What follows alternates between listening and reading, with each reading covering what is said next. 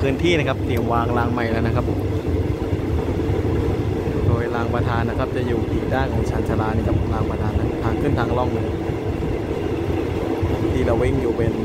ปัจจุบันนะครับแนวทางปัจจุบันอีกทีจะเป็นทางหลีกในอนาคตนะ